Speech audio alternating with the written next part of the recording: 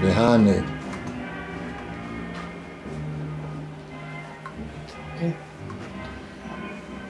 Hi there, this is William, and uh, the reason we're here down in my basement today is I'd like to show you uh, our Glenwood base heater.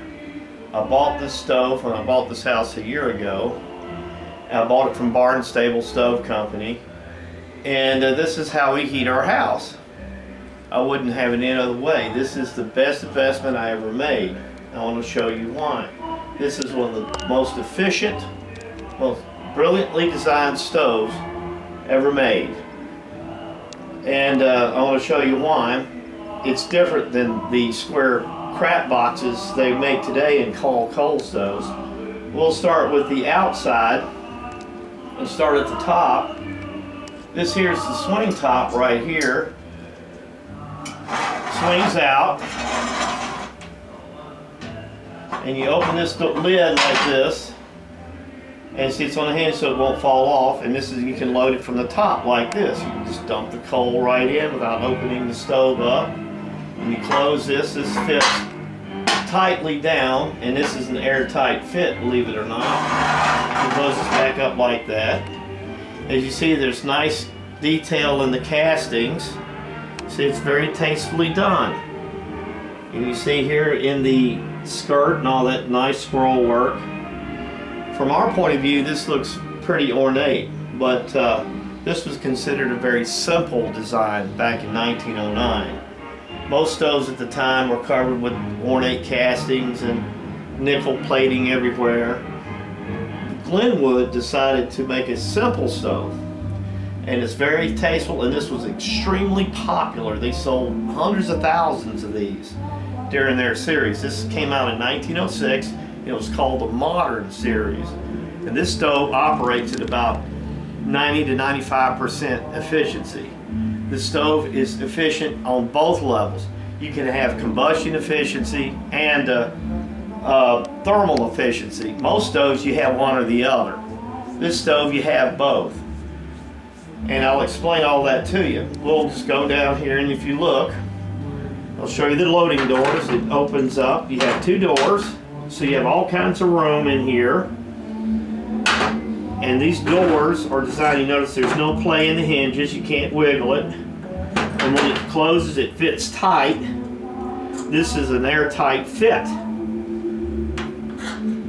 Dampers are also airtight. There's a spring right here in this little cap, under this cap right here, that holds these dampers tightly against this, the body of the door.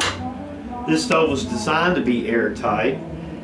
And I know it's a common misconception these days that uh, stoves from this period are not airtight. Well, it's old so it leaks, but no, this is designed to be airtight and it is. You have complete, perfect control over the fire. The ash pit dampers are the same way. They're spring loaded and they press against the body of the door and there's absolutely no leakage whatsoever. And as you see, this fits tightly and there's no air leaking around the sides of the door. Now, I want to show you what makes a base heater different from a uh, standard stove. As you know, a standard stove has the exhaust collar right up here at the top and the pipe comes out of the top. The air comes underneath the ash pit through the fire up through the combustion chamber and then out the top and then your heat and exhaust goes up the chimney and is lost forever. What a base burner does is it recirculates the heat in the exhaust and radiates it out into the room. As you see here, these are the base heating tubes.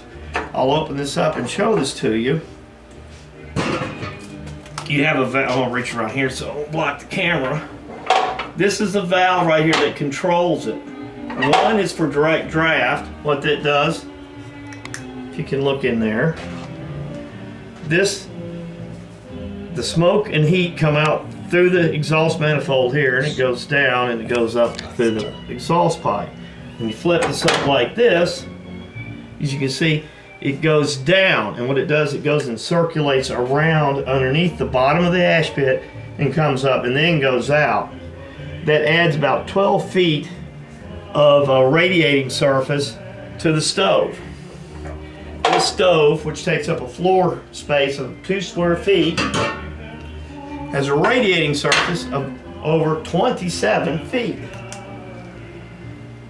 So all the heat that is produced by the fire, most of it is radiated into the room. And are several other features that help the efficiency of the stove as well.